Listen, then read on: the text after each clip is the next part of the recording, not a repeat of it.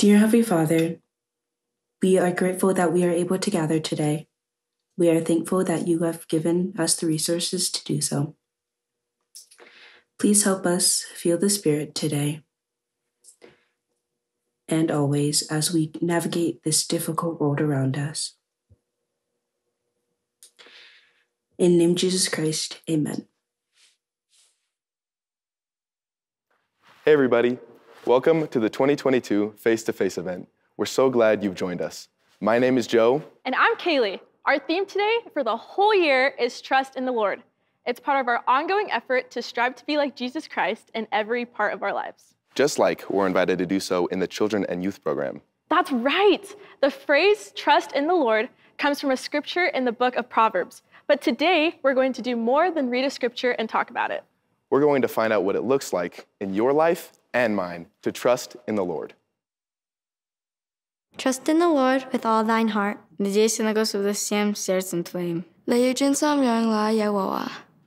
Hi, I'm Brother Wilcox. The other members of the Young Men and Young Women General Presidencies and I are on a mission. We want to find out how you are trusting in the Lord.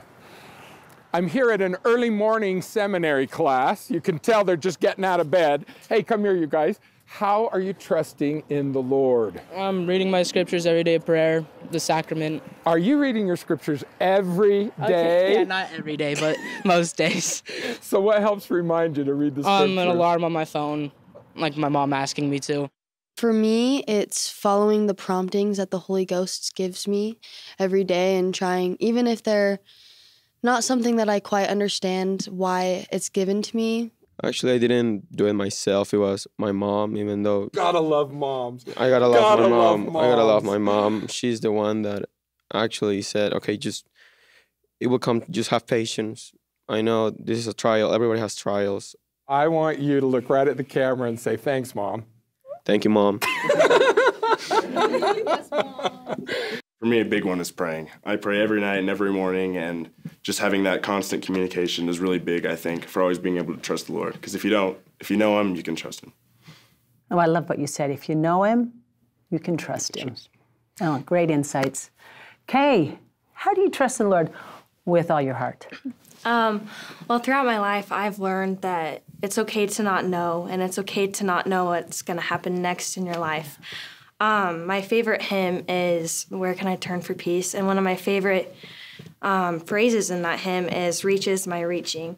Well, for me, the past couple months have been really difficult. Um, it's almost felt like he hasn't been there for me occasionally, but it was back in December when um, I got a text message from one of my friends, and it was um, Light the World, and she was telling me how much she loved me, and I realized that that's what I was missing, and that's what I needed, and that's kind of like how I knew he was there for me, and so it's just kind of the little things in my life that I've noticed that he's that he's there for me and that I can trust in him. So. oh, I love that. Thank you. So, we're in a time in our lives in high school where you have to make a lot of big decisions. And so, obviously, you want to let the Lord help you make sure that you're on the path that He wants you to be on. And so, for things like college, I was like, where am I going to go? I don't know what to do. I That's don't have a plan. Big. Yeah. And so I was praying one time and I was like, where should I go? And I just got this voice in my head that was like, why are you asking where you should go when you haven't even researched it yet? Like, I just think it's interesting when you like rely on the Lord. He actually trusts you a lot more than you think, and He wants you to try and learn for yourself what you should be doing with your life. So He trusts you as you trust Him. I'm here with Alina, I'm here with Alana, and I'm here with Aiden. All your names start with A. That means we have got the A team right here.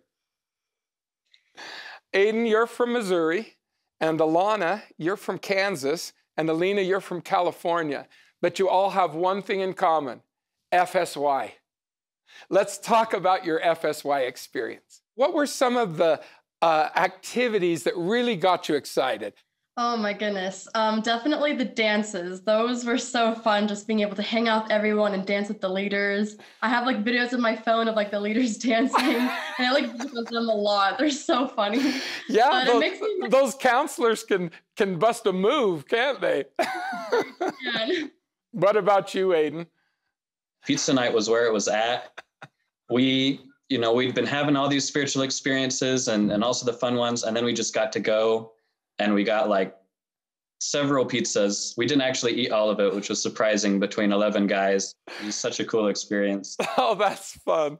Alana, do you remember game night? Yes, I was gonna say that was probably one of my favorite moments was game night. Which was Now, we're not talking fun. electronic games. We're not talking board games. Tell them a little bit about the games we're talking about. Yeah, so I love these games because they were outside and they were very active, and you were able to run around and play. So fun. But then I loved how our counselors were able to tie that into the gospel. With each game, they would teach it to us, and we would go through the game, and then they would explain to us how that um, pertained to the gospel. And I thought that was awesome. Alina, how did FSY help you learn to trust in the Lord?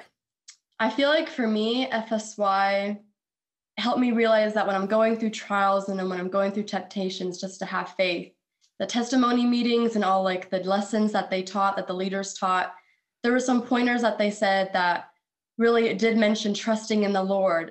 So it was really amazing to go through all these classes and all these different devotionals and to be able to grow my testimony and learn more about myself and my relationship with my Savior and Heavenly Father. And to understand that I'm a daughter of God and He loves me and He's aware of me and He's go- He has a plan for me and He's going to place me where He wants me.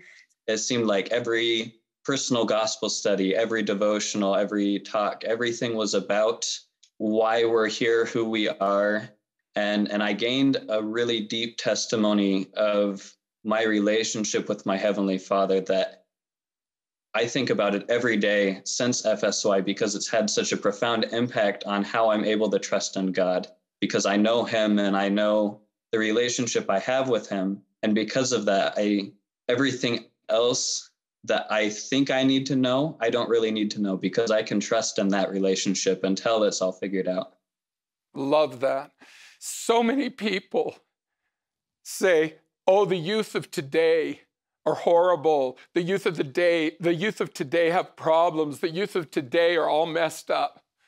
But they've never had the chance that I've had to stand at an FSY and watch you play games and watch you dance like maniacs and watch you sing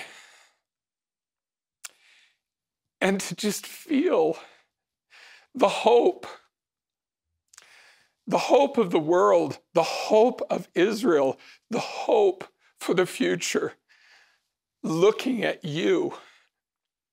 There's just not a better feeling in the world. Wow, those experiences really make me want to go to FSY. I agree. If this is your year to go to FSY, sign up and show up. You'll definitely come to know the Lord better at FSY. And like one of those seminary students said, if you know him, you can trust him. Lean not unto thine own understanding. Ne t'appuie pas sur ta sagesse. E non ti appoggiare sul tuo discernimento. How do we trust in God? How do we, we talked about several ways, but how do you guys trust in God, like in school, for example? Benjamin? Well, if I'm having a hard time at school, like an exam or something, then I pray and I trust in God because I know He'll be able to help me. He'll be able to help me get an answer. Even if it's not right there, I know He'll be with me and that He'll help me. Mm, very good. President Oaks always teaches us to trust in God. And that trust is powerful. What else? Um, when you trust in God, maybe at school. Yes, Sam? There's a lot of things that, a lot of bad things at school, like drugs, maybe, um, people that smoke, and all that stuff. And it's more about thinking about what's right than just being with them so that uh, people can see you're with friends. Mm-hmm. And stuff like that. And there are also many other people at school that are like that. And where uh, it's not so much about the friends, it's more about what others think, what they believe, in order not to do those things. Well, like many have already said, one of the problems we have at school is the people that are around us. And for the most part, the one we should be closest to is the Holy Ghost. He guides us where we need to go and who we need to be with and all of that. And we need to seek for the gift of hearing Him all the time, at school or wherever. We need to hear Him where He is. He guides us in all of that. Wow, so you're talking about revelation. You guys can all receive revelation, you know? You guys know you can re- all receive revelation, right? Very good. I am here with my wonderful granddaughter, JC. JC and I were raking leaves one day, and she told me an amazing experience that she had had concerning trusting in the Lord and how that played a pivotal role in her life. So, yes. would you be willing to share that with us? I would. Yeah. Um, so, recently, I heard some things at school, especially from some of my friends that had some doubts about the church. I was kind of curious and started to research some things like online. And I've learned that there's a lot of information out there, good and bad. And I started to question my faith in Jesus Christ and in the church. But then I remembered a seminary lesson that we had had a couple weeks back. And it was about Joseph Smith in Liberty Jail. And we talked about how he had been through this really hard time, this kind of depressing time. And something that he did was he started to pray instead of turning away. And he prayed to the Lord and he said, Where art thou? And that's kind of how I felt right then. And so I prayed to Heavenly Father. And I got this feeling from the Holy Ghost that the church was true and that I needed to find better sources. And so I went to some smart people I knew, such as grandparents and the bishop.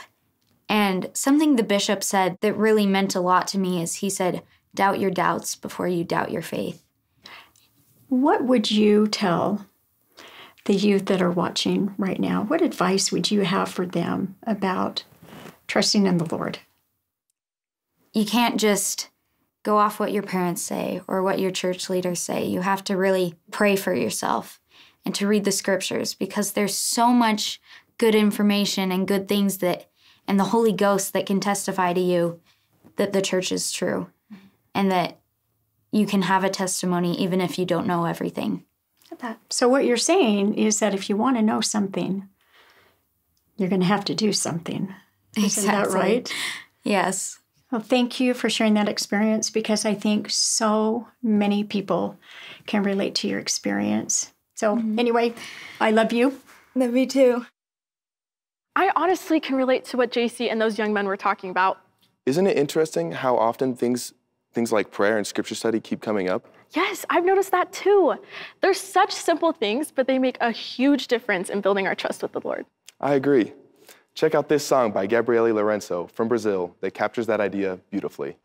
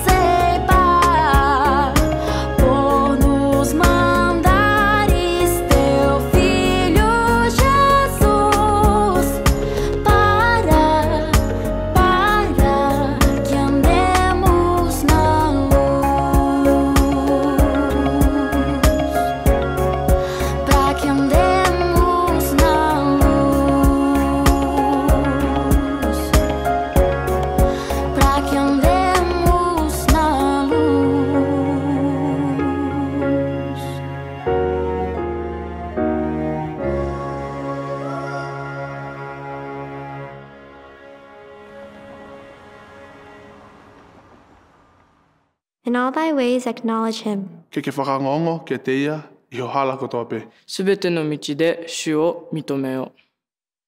I'm Sister Craig, and I'm here with two adorable sisters, Giovanna and Sophie. Thank you so much for letting me come to your home. Yeah. I'm so excited to be here.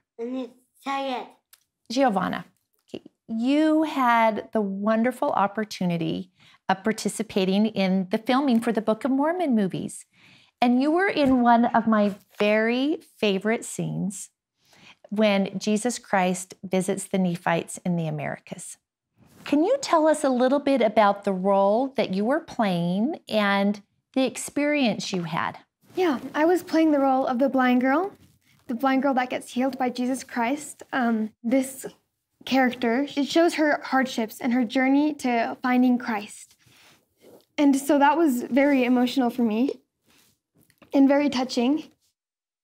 Three days before the healing scene, Sophia here, yeah? Yeah. She was diagnosed with cancer. And so I went to the Book of Mormon video set, like, kind of like a little off. Like, I was still myself. I was still having a cheery attitude. Like, it felt a little off, like, knowing that my sister was in the hospital.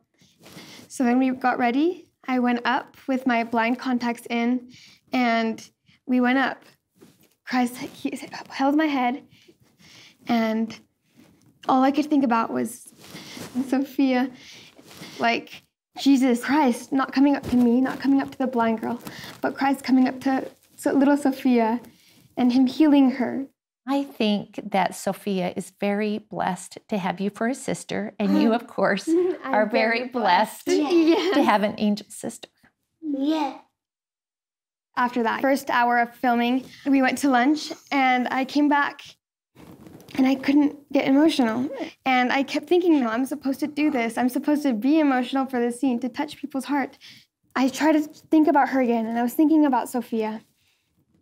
And the first thing I heard in my head is, What about you, Giovanna? What about you? You're special. You can do it. Be strong, Giovanna. You got this, Giovanna. And all these thoughts about loving myself, letting God love me. That was the most incredible experience of my life. And I feel like that's when I started like feeling better, started healing. And I think it's so important that all of us realize that Heavenly Father, like you said, knows us and He loves us.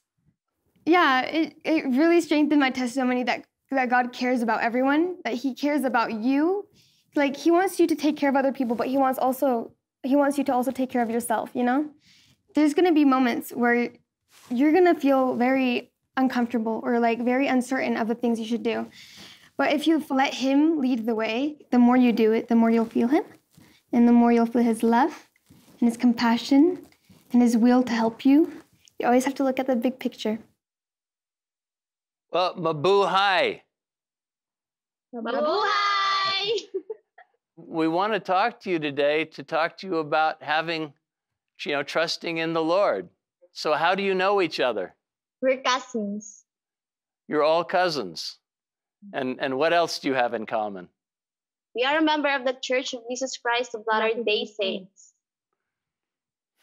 And we trust in God. And we trust in the Lord. And you, and you trust in the Lord. Of course Yes. you do.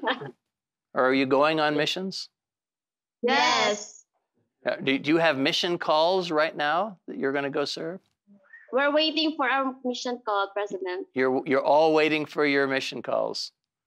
Yes. And, and do I understand that you have other members of your family that are serving missions already? Yes. How many more? Si Ate Princess, si Ate... We have three cousins serving, serving a mission. So you have three cousins now who are serving missions, and you are four more. So seven members of your family will be serving missions at the same time. Can you tell us of a time when you have trusted in the Lord? my experience is when this pandemic came. Um, it's been so hard. Uh, my studies affected and also our family income. But I know and I prayed that if I trust and if we trust in the Lord, He will provide our needs. So that's all I can do in this time of pandemic is to pray, read the scriptures, and go to church regularly. That's beautiful. I know that too.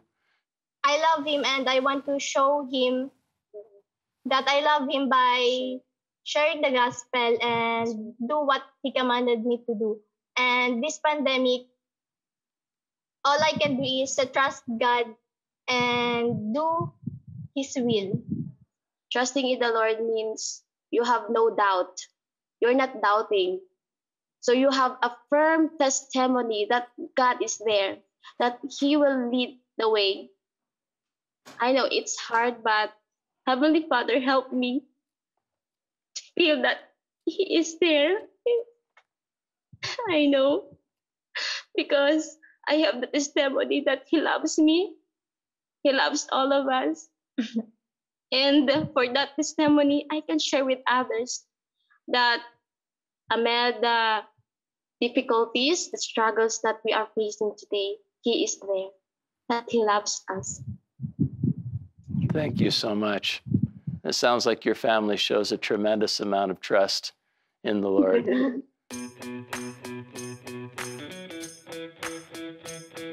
you have to fall in love with the process of becoming great. I would say I have fallen in love with this process of getting better every single day, and now it's just like when I wake up and I'm excited to do that. My name is Olivia Moultrie. I'm 16 years old, and I'm a midfielder for the Portland Thorns in the National Women's Soccer League. And I'm the youngest player to play in the league. I've been a professional since I was 13 years old, but I made my debut this year at 15 years old. I had my first goal and my first assist at 15, which is the youngest in league history. Olivia, tell us about your journey. Tell us about your life right now. You're 16 years old. Tell us about Olivia. Let's, we can just start from totally the beginning. I mean, first and foremost, I'm always a daughter of God, obviously. Um, we've always had this list, and it goes uh, our faith, family, and then soccer. So, I mean, no matter how important my goals are to me and just what I do every day, that'll those two things will always come first for me. I love that you said, obviously, I'm a daughter of God. Yeah. That is powerful to know, obviously, Mm-hmm. that that's who you are.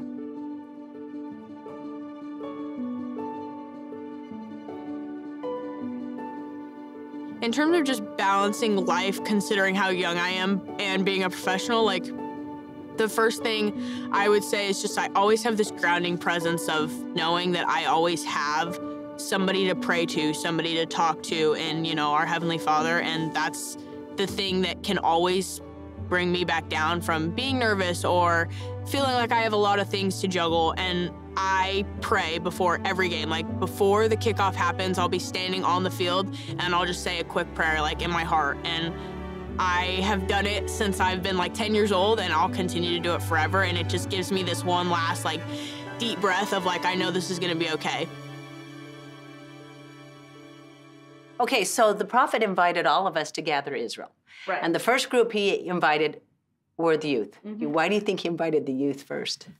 I think he knows and the Lord knows just how big of an impact that the youth can have on each other, but also just that the youth have on the world. Just our like light and energy. And I think we kind of just bring this like real excitement. So good. Yeah, I think you're absolutely right. I think the youth have an energy and a power within them that makes a huge difference. The influence is Yeah. enormous. When you continue to do the right things, when you go to church, when you read the scriptures, listen to the prophet, and just try to make yourself as close to God as possible, He reaches out to you. He sees the effort you're putting in. And uh, some of the apostles have said it, and the prophet said it recently in an Instagram post, just saying that like effort counts with the Lord. And us trying to do the right things over and over again eventually leads to blessings. And so I just think continuing to do the things we can to be the closest to Him, He'll tell us what He needs us to do. That's so cool. You can really tell those youth gain a lot of strength from knowing that they are children of God. Totally. I think I learned from them that part of trusting in the Lord is making Him the most obvious part of our lives. I agree. Mackenzie Hatch and Eli Nelson are from Colorado, USA. They had a chance to talk to Garrett Bowles, a professional American football player who learned that when you trust the Lord, He directs your path, sometimes to unexpected places.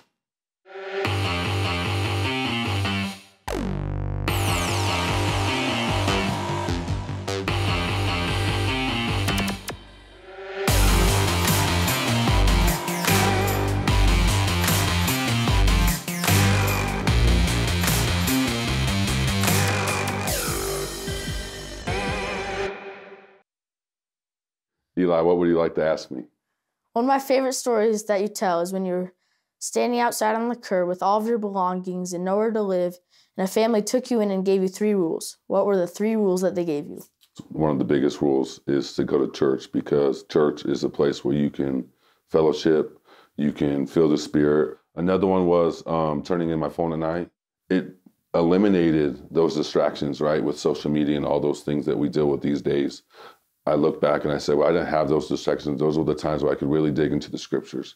I could really find out what my testimony was. Another one was paying my tithing. I think that's been a huge blessing in my life to this day. So, what are the type of like day-to-day things that you started doing or implementing into your life that actually brought out your trust into the Lord? Um, I really think it started where um, when I was at home, when I would put turn in my phone at night, and I would really just have a couple hours before I go to sleep of really focusing on um, reading my scriptures. Um, during that time, I'd meet with my bishop one on one. You know, a bishop is not somewhere that we should feel afraid to go talk about our problems.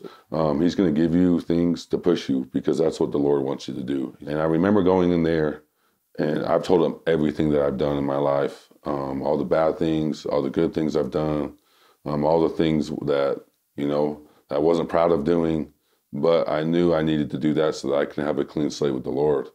And I remember looking to the left, and it was um, Jesus Christ in the Garden of Gethsemane. And uh, sorry.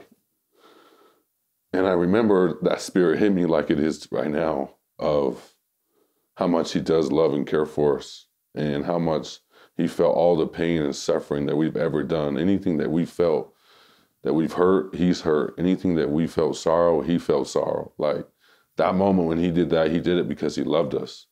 And I knew if he's to love me, I need to love him not just one foot in and one foot out like I've lived my life for so long, or one foot off the edge and one foot on the edge. I have to truly love him. And when I did that is when I knew I needed to serve a mission.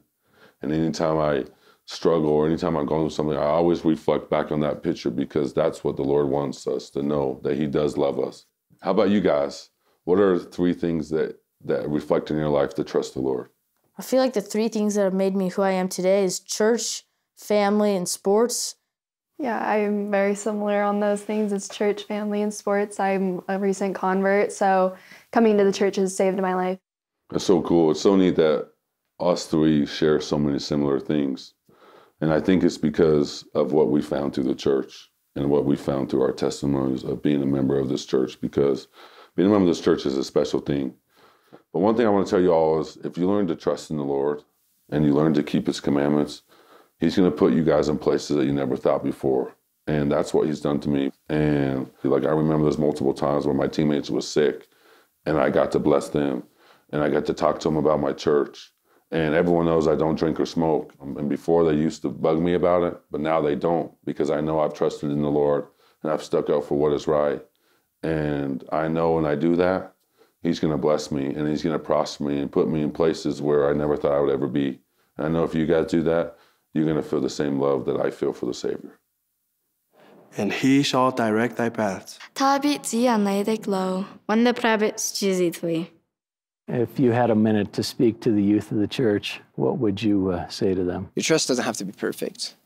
Um, none of us are perfect. And a lot of the times it's really scary to trust.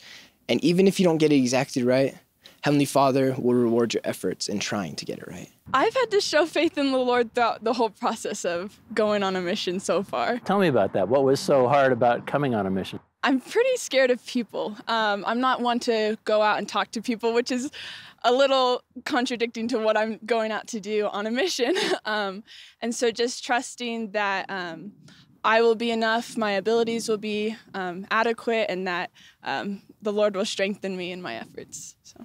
So I play basketball at the Air Force Academy, and I've been there for a few years. And then going into my sophomore year, um, I received a strong prompting to go on a mission. Was that a little frightening? It was a little bit at first, but it was kind of a relief too. I think COVID and um, just being in the last days, the world can get um, dark and dreary, and it's so beautiful that the Lord gives us promptings and personal revelation that's meant just for us. If you had a minute to talk to young women, young men in the church about trusting in the Lord, what would you say to them? I would say don't tell Heavenly Father, Jesus Christ, how to help you, because we really don't know what we need until we receive those blessings. We hope you enjoyed hearing these faithful disciples of Jesus Christ talk about what it means to trust in the Lord. Now it's your turn. How have you learned to trust Him? Share your experiences on social media and with your friends and family. And look for additional opportunities to share coming soon on the Strive to Be media channels.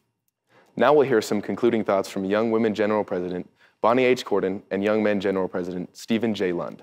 Then we'll have a final musical number, Be Thou My Vision, sung by a full-time missionary serving in San Diego, California. Thank you, Kaylee and Joseph. I've been deeply moved by the examples we've seen and your heartfelt answer to the question How do we trust in the Lord? I wish we had time to hear from each one of you, but I hope you've been able to see a bit of yourself in some of the people we met today. We've heard, for example, that trusting the Lord with all your hearts sometimes means stepping out of our comfort zone and finding strength and courage in the Savior's comfort. It means that even though we don't understand everything, we can know and trust the Lord loves us. It means acknowledging Christ during good times and bad, trusting His wisdom, His love, and His power to heal. And it means letting Him direct our paths. I testify His way is the way to peace in this life and eternal joy with our Heavenly Father. As we've seen today, it's one thing to say, trust in the Lord, but it's another to actually live it. Thank you for showing us all what it looks like to live by trust in the Lord. I want to share my personal witness that Jesus Christ is worthy of our complete trust. He is the Son of God and the Savior of the world. He knows you perfectly, and He loves you perfectly. His power is available to all of us, no matter where we are or what our challenges may be. The more completely we trust Him, the more completely we receive His power in our lives. After the musical number, our closing prayer will be offered in American Sign Language. It's okay to keep your eyes open and watch as He offers the prayer. Thank you for trusting in the Lord, and please know how much we love you.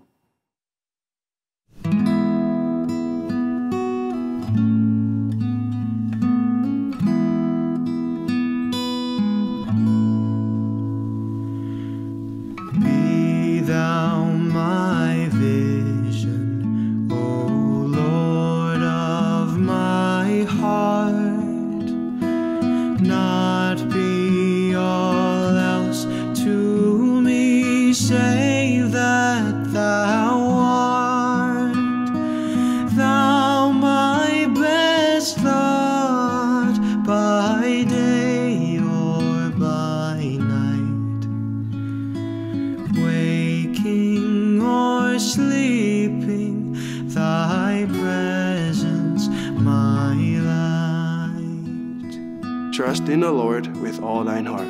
Confie-toi en l'Éternel. And lean not unto thine own understanding. In all thy ways acknowledge him.